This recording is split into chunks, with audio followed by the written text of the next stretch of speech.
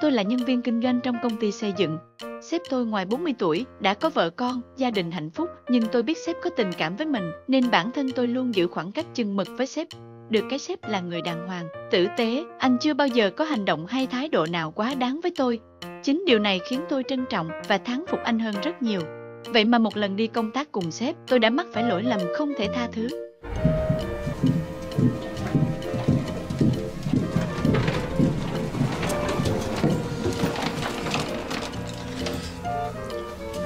じゃああとは頼む。かしこまりました。部長今夜のご予定は？うーん魚のうまいところかな。はいございます。ございます。部長。ん？差し出がましいようですが2件仮予約をされております。おお冠刺しが評判の店です。さすが。気が利いて美人。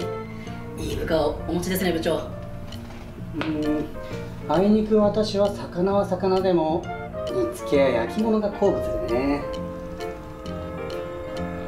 じゃああとは頼むねかしこまりました Hôm đó, sau khi kết thúc đàm phán xong, vì nhà nghỉ gần bờ biển nên sếp có rủ tôi cùng đối tác đi ăn tối. Mãi vui, tôi uống hơi quá chén, đến nỗi say không biết gì cả. Lúc về đến phòng nghỉ đã quá nửa đêm. Thay vì ai về phòng đấy, xếp dìu tôi về phòng anh ta và hủy phòng của tôi.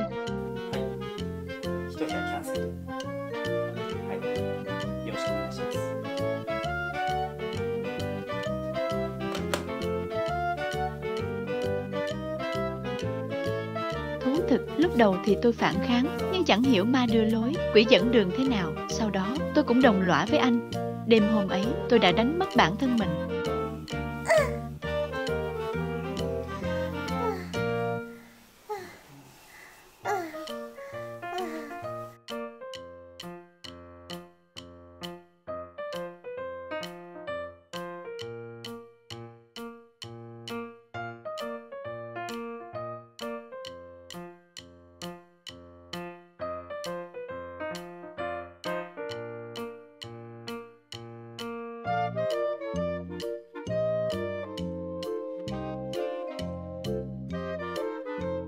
Về nhà, tôi luôn bị dày vò, khổ sở.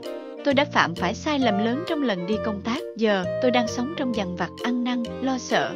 Tôi căm hận mình, khinh miệt mình như bẩn và thấy có lỗi với vợ con sếp vô cùng. Tôi rất sợ chuyện này sẽ bại lộ. Giờ tôi không biết nên làm sao nữa.